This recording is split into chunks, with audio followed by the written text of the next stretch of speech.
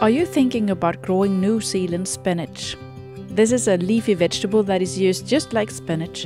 It also reminds about spinach in flavor. One single seed can give a plant that weight about 10 kilos, full of leaves to use in cooking. Unlike spinach, the New Zealand spinach is possible to grow even in summer with good result. So it's a really good leafy vegetable to grow. In addition, it is perfect in a children's family. Even if the children harvest quite rough, the plant will grow further on and yield more and more harvest. When I harvest during the season, I take the shoots or leaves. In summer, I will cut down the entire plant almost completely. It grows up again and gives another harvest in fall.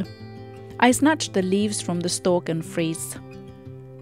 With just a few plants of New Zealand spinach in the garden, you can be completely self sufficient in leaves for cooking, believe me.